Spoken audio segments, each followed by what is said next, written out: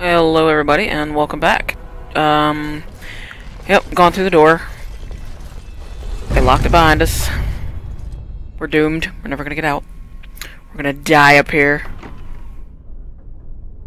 And best way to enter in is find a bunch of dead things, already dead things. It shall be done. I'm always a little worried body's gonna pop back up.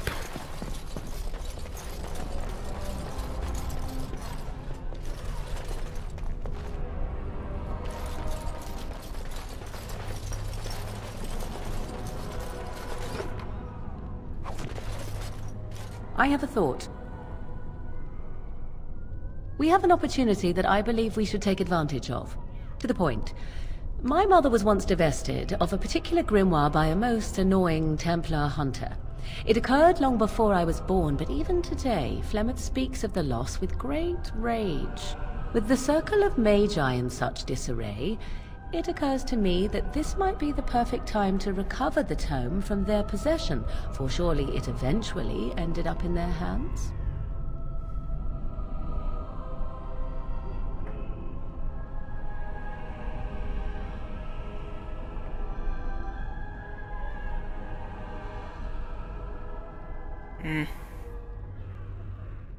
Tis a book of spells, of the sort that Flemeth has dabbled with throughout her long life.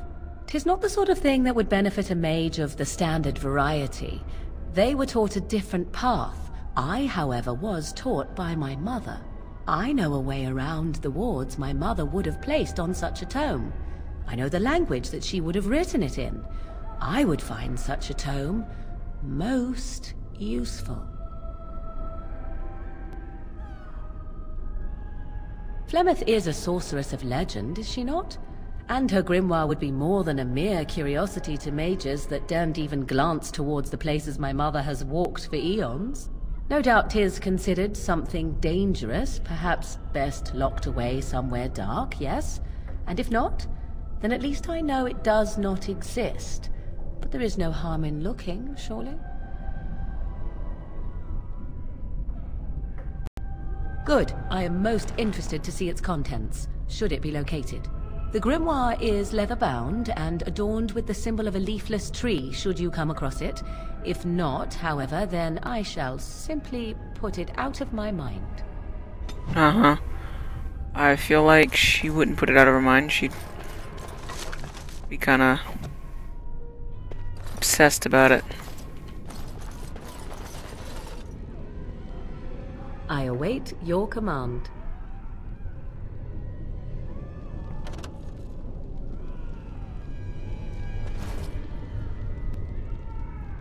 What do you need? Ask away.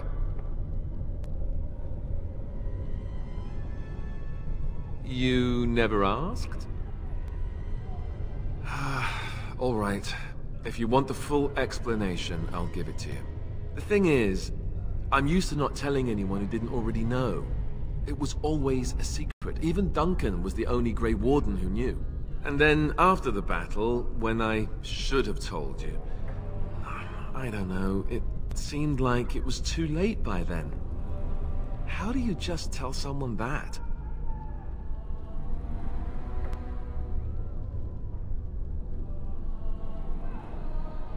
Yes, well, I suppose part of me kind of liked you not knowing. They treat me differently. I become the bastard prince to them, instead of just Alistair. I know that must sound stupid to you, but I hate that it shaped my entire life. I never wanted it, and I certainly don't want to be king. The very idea of it terrifies me.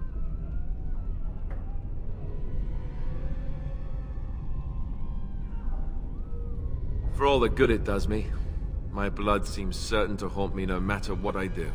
I guess I should be thankful that Arl Eamon is far more likely to inherit the throne. If he's alright. Oh, I hope he's alright. And for what it's worth, I'm sorry for not telling you sooner. It was a dumb thing to do. I guess it's kind of a relief that you know now. Let's go.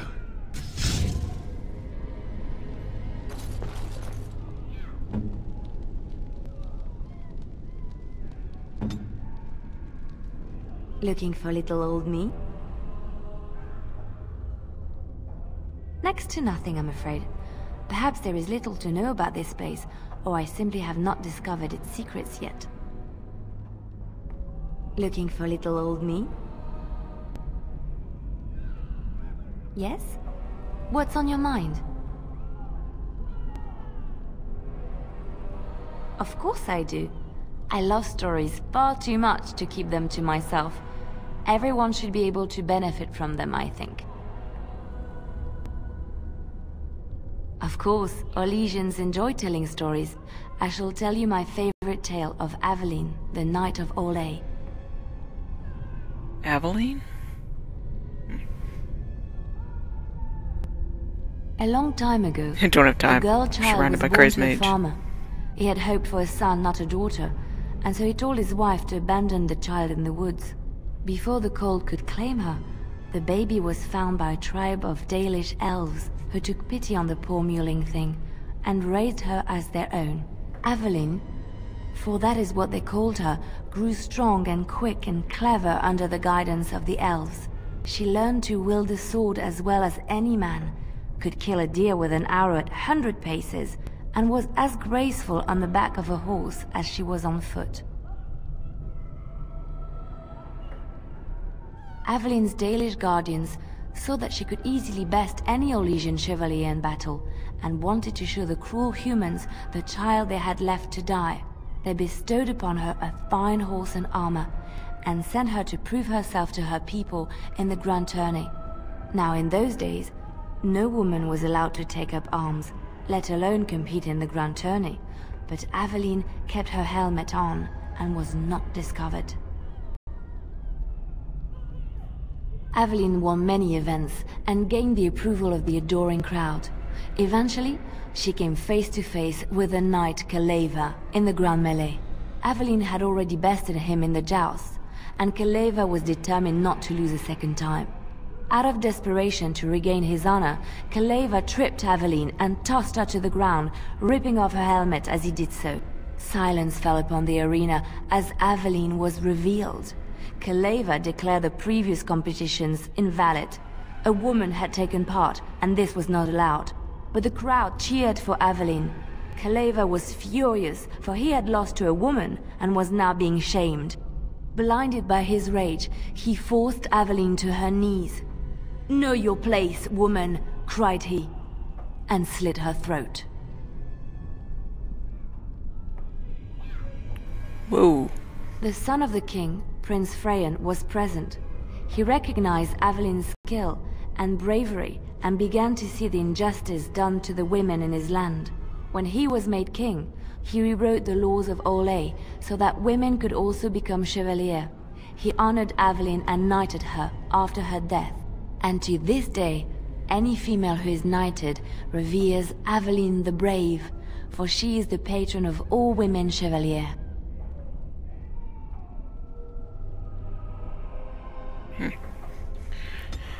Alright, one story per thing.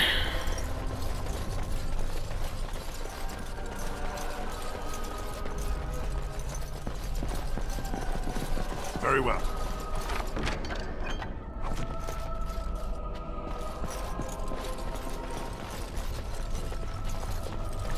Yeah, so far, so good.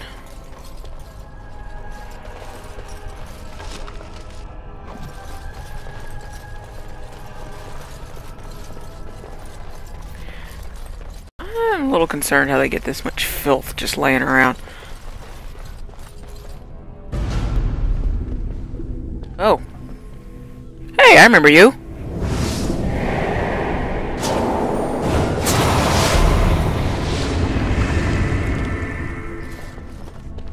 It's you. No, come no further. Grey Warden or no, I will strike you down where you stand. I am a mage of the Circle. More importantly, why are you here? The Templars would not let just anyone by.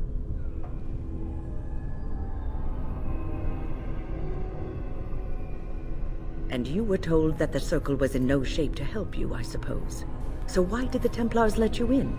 Do they plan to attack the tower now?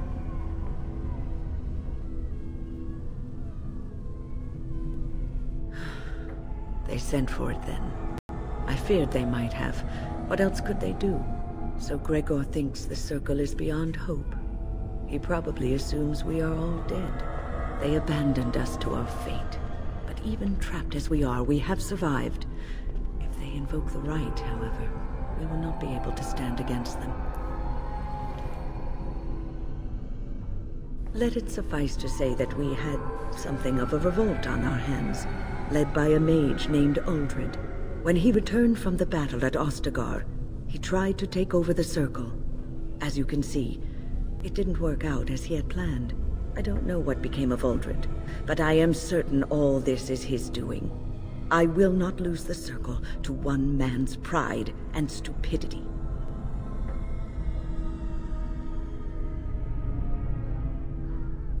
I erected a barrier over the door leading to the rest of the tower, so nothing from inside could attack the children.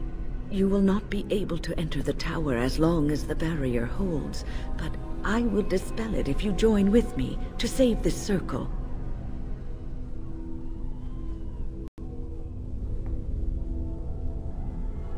Once Greagoir sees that we have made the tower safe, I trust he will tell his men to back down. He is not unreasonable.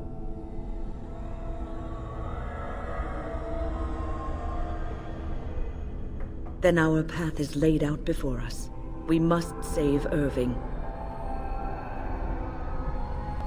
Petra and Kinnon will watch them. If we slay all the fiends we encounter on our way, none will get by to threaten the children.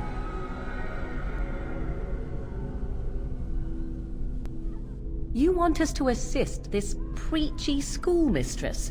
To rescue these pathetic excuses for mages? They allow themselves to be corralled like cattle, mindless. Now their masters have chosen death for them, and I say, let them have it.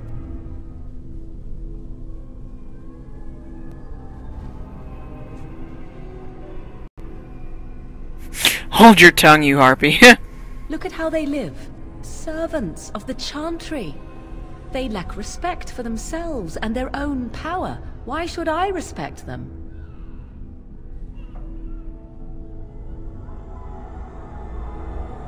Ah. Have it your way. Petra, Kinnon, look after the others. I will be back soon. Wynne, are you sure you're all right? You were so badly hurt earlier. Maybe I should come along. The others need your protection more. I will be all right. Stay here with them.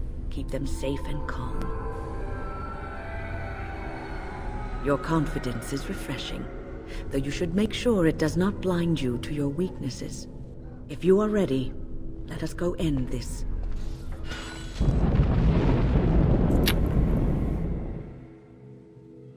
Yes. And you got just you got replaced, Morgana. Indeed.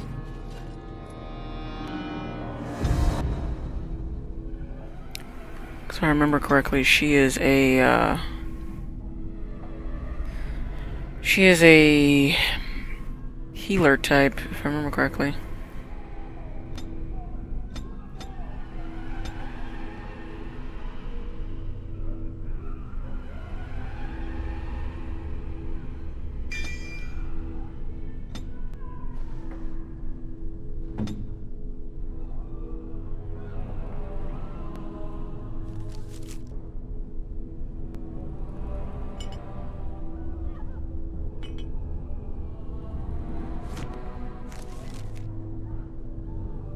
Wow. She's got all the things.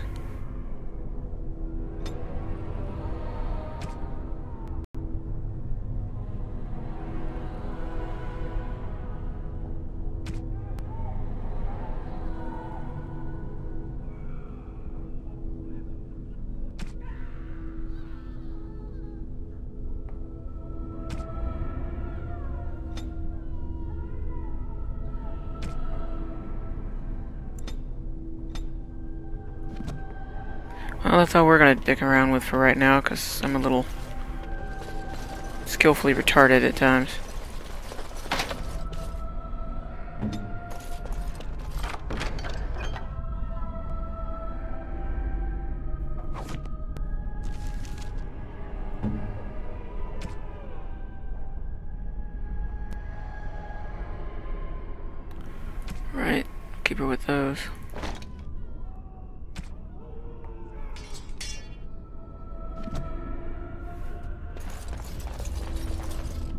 Don't suppose this is what you expected the circle to be like, is it?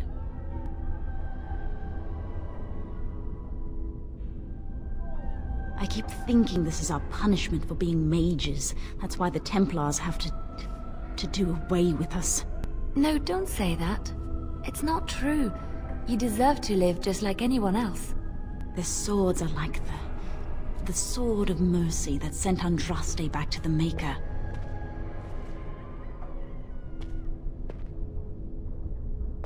Andraste only died because of man's foolishness and pride. We need to atone for this. We should let the Templars come. Only then can we be cleansed of our wickedness.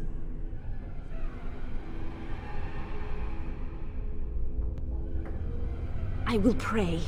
May we abandon our tainted bodies to find peace with the Maker. Oh, she's a little. It's Okay, good to see that some wardens survived. We are sorry for the loss of your comrades.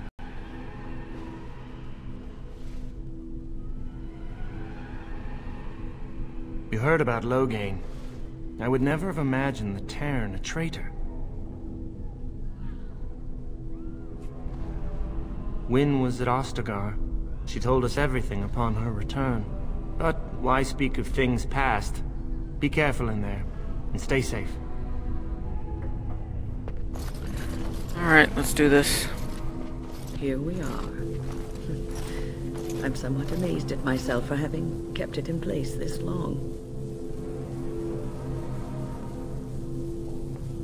It made me very weary at times, but I had to stay strong to keep us safe.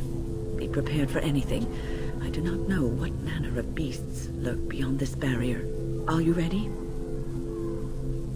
All right. Be on your guard.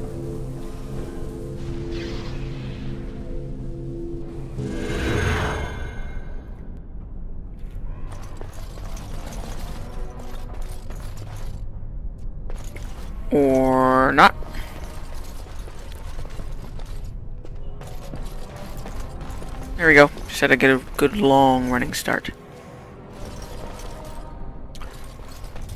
Never like that.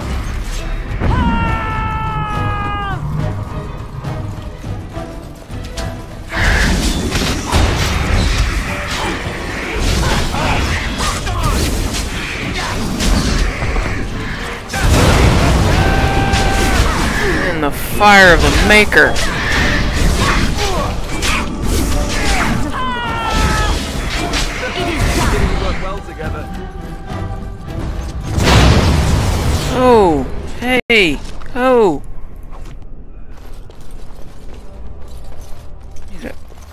Calm your hot sauce.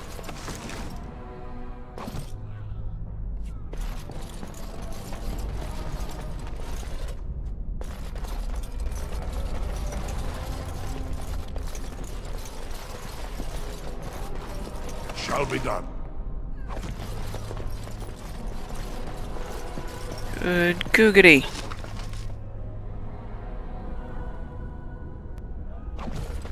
I'll take that.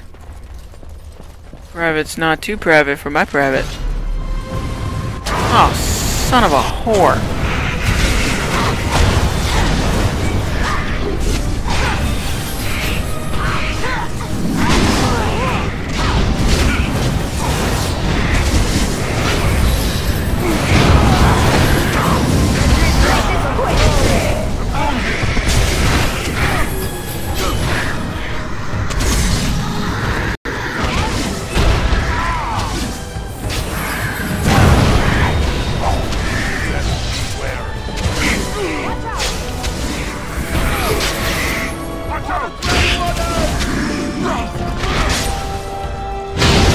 Oh.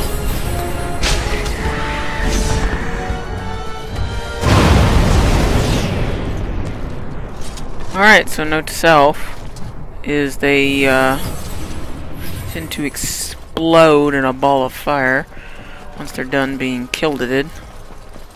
Not the best of things.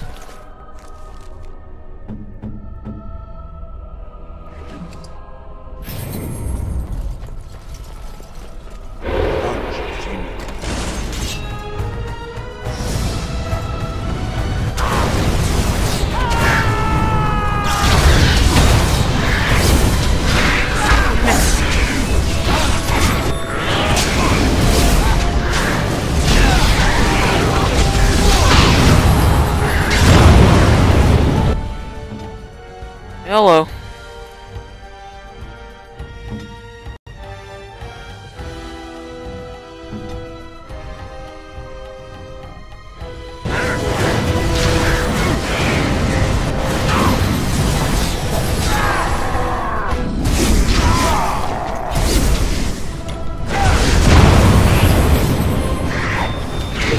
I would so love it if you'd stop setting everything on fire.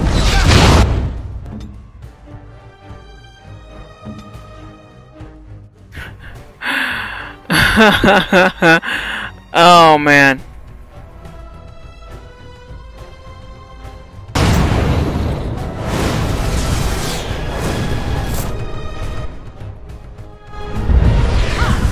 Uh oh.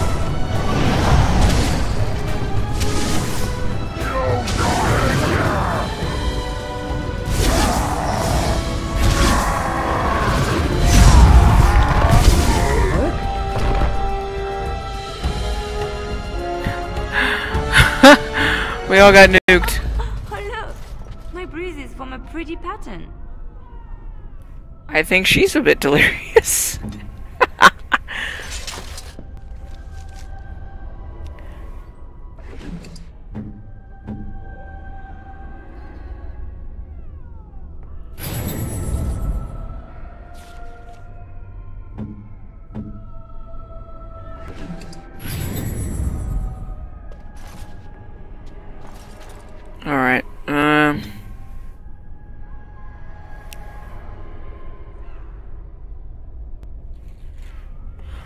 see if we cannot change that tactic just a little bit. Um...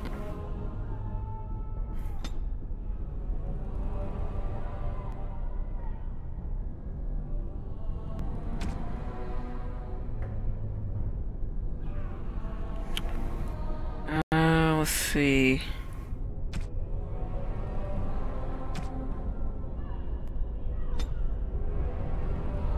Usability, heal.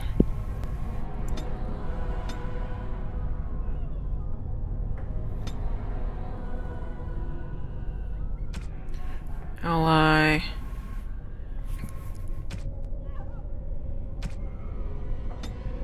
Usability.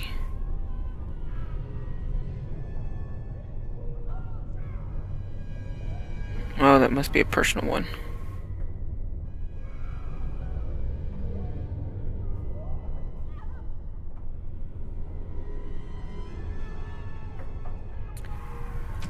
Maybe not.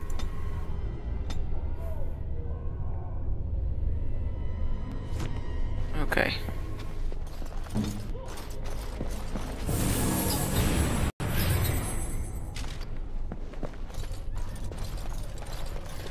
Soldier Corpse. Eh, Soldier Core.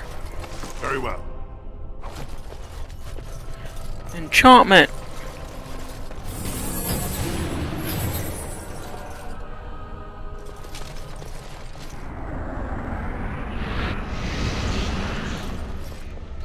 Weird. It's really, really weird. I wasn't sure if that was like... Sure that was mystical power? Not just some deranged fart?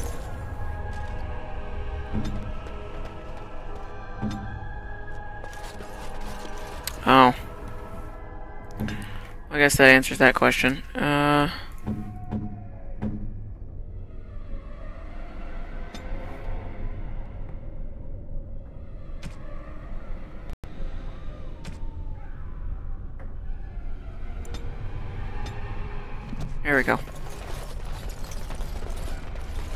Nada, nada, nada.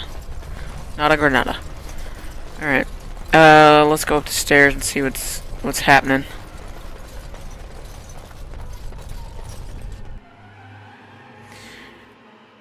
Mana or stamina? Huh. I have to keep that in mind. Electricity does double tap. Do you hear that? I think there's someone near here. Hmm. Please refrain from going into the stockroom. It is a mess, and I've not been able to get it into a state fit to be seen. I was trying to tidy up, but there was little I could do. The stockroom is my responsibility. I must keep it clean. I tried to leave when things got quiet. That was when I encountered the barrier. Finding no other way out, I returned to work. Oh, Owain, you should have said something. I would have opened the door for you. The stockroom is familiar. I prefer to be here. He is one of the Tranquil. The Tranquil do not have emotions.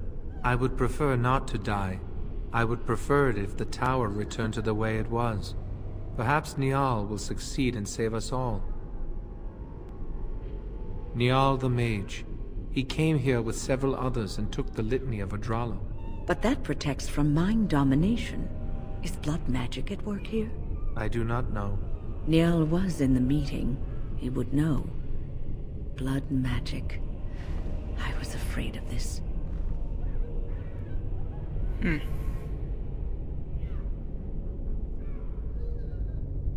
Blood magic could control us, too. Who knows what could happen then? We should find Niall. The Litany will give us a fighting chance against any blood mages we encounter. I wish you luck. Perhaps this will be over soon and things will return to the way they were. Goodbye. Well then, um, hmm. We are in a sort of fancy area. As you say. So,